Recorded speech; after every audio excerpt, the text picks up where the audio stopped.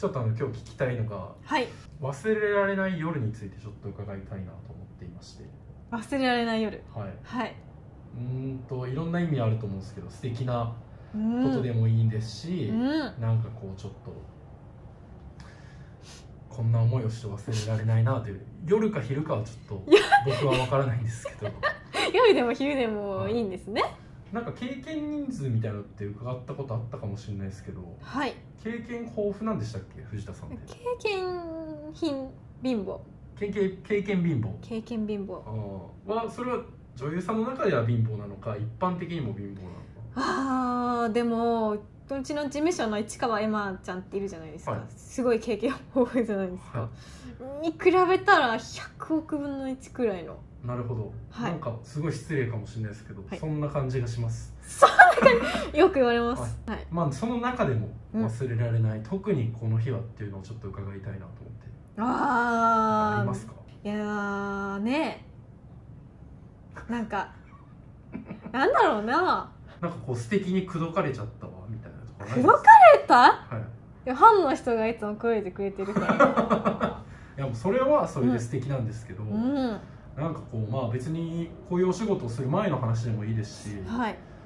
なんかこう口説かれてそのままちょっと宿泊施設行っちゃった。みたいな宿泊施設ないんですか？ああないですね。じゃああのすごいもうん。うめっちゃ上手な人とあ対ー戦したとか。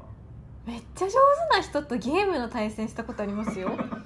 それちなみにじゃあまあ一応聞きますけどゲーム何のゲームですか？マリオカートですめっちゃ強かったら勝てないですよねあれ、ね。結構実力で、おー上手でしたね。まあでも僕が聞きたいのはまあうんなんかこう性的な対戦。の的な対戦ですか、すこの人すごい上手みたいな。それこそ市川さんとかもめちゃくちゃいっめちゃくちゃあるじゃないですか。はい。いつもそう聞かれて本当に何もなくていやもう私本当に初めて負けたって出来事がこの前撮影だったんですけどあって。負けちゃった初めて負けた初めて負けたなって思ったことだったんですよ撮負影で。け知らずだったのに？そう。今まで誰にもマラソン大会もね テストもね負けたことがいつも一等賞。はい。なんすかその「はい」って。そういやそんな藤田梢がはい。初めて負けたとはい思った日がねありました。はい。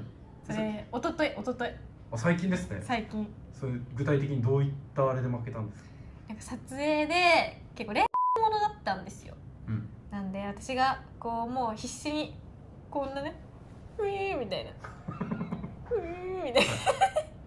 必死ですよ。もう笑ってはいけない。まあもう当たり前ですよね。は笑ってはいけないもう年末ばりの。い。もう笑ったらケツバットをやられる。ね？さはい。作品だったんですよ。え？本当ですか？ぐらいの作ぐらいの気持ちで。はいはい。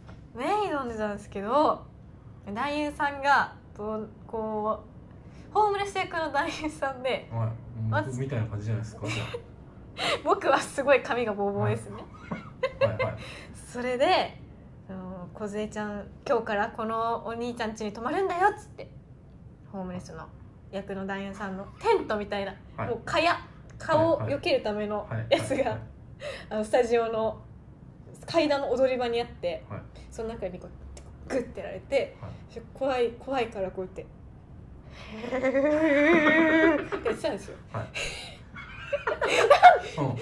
まあ真作品ですからね。真剣やってたら、なんかそれで、まあ、ちょっとねおしっこをするおしっこをしなきゃいけなかったんですよ私。うんああ藤田さんがね。そう怖くてちびっちゃうみたいな。はい怖すぎてちびんなきゃいけなくて、はい。まあそれ無事ちびったんですけど。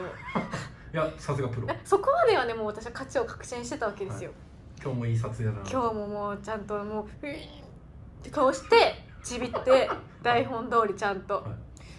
あでも涙ももうこんなここまで垂れて。はい。おおもうこれは今日も勝ったなと思ったら。女優藤田女優藤田ここにあり。ここにありはい。勝ったと思ったんですよ。もう勝ちを確信した、はい。そしたら男優さんホホームレス役の男優さんが「梢ちゃんのこのちびって汚れちゃったパンツ雨水で洗ってあげるね」ってすっごいもう冗談めかしてじゃなくて「雨水で洗ってあげるね」って言われたんですよ、もうもう笑いこらえきれなくてこんな顔になっちゃって。確かいやセリフになかったやつなかったやつ、つアドリブではい、もうだからこれ男優さんも入ってる。入っててあまもう本当に真剣なトーンで雨水で洗洗ってあげるねって。はい、洗うんかいってなったわけですねじゃ洗うんかいって。普通にトイレトイレで洗うねとかじゃなくて、はい。雨水で洗ってああげる。ね役に入りきって役に入りきって。の人そんなこと言い 言うと思って。ああその私は笑ってはいけなかったし、はいでもなのにそのぶっこんで来られたってことにもうん本当に悔しくて演技で食われちゃったわけ。食われちゃって私はもう泣いたしちびったしちゃんと完璧にやってたのに。はい。本当になんなんそれと思って。ななんでそんなこと言うのっつって。笑っちゃって。言ったんですか？カメラ止まった後どういう感じなんですか？えもうその場でから止まってはい「おじいちゃん笑っていいよ」って言われて、はい。腹抱えて転げて笑いました。一回全部出し切らないと。出し切らないとこれはダメだってなって。それまあ、忘れられない撮影ですねじゃあ。それは。忘れられない撮影ですね。いや私はもうそれで私はやっぱ芸人魂があるわけじゃないですかこうして。いや知らわかんない。わけだと思いましたね、あー。僕聞きたかったのはなんかこうさっきも重複しますけどはい。すっごい上手な男性と対戦してもすごい良かったから忘れられない。上手じゃないですか。雨水で洗ってあげるよ小瀬ちゃて演技がね役に入りきってあれですか？なんかこう、藤田さんまあ、うん。ファンの方いっぱいいるから、うん。そういうプライベートなそういうあれは隠してるみたいな。しないですよ。症状みたいなこと？少女じゃないけど。い。やーねないですよ。マジない？あもう一つ忘れない。悔しいなと思ったことがあって、撮影なんですけど。一応聞きます。一応120分もので私の素人素人亭で出てもう梢ちゃん藤田梢ってもちろんクイズとは出るけど梢ちゃんの中の人の普段するエッチを見せてくださいって言われたんですよ。うん。普段セフで彼氏とするコンビニ行って家でダラダラしてみたいな。そういうエッチを撮らせてくださいみたいな作品がありましてですね。で私わかんないじゃないですか。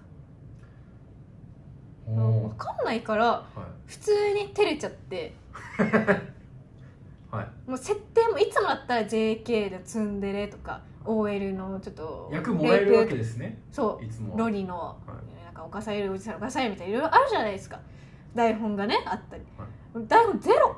コンビニにいてただエッチしてってだけの設定でどうしていいか分かんなくて途中で本当にガチ泣きしちゃってえ？どどえ？エッチって何？って私って何者？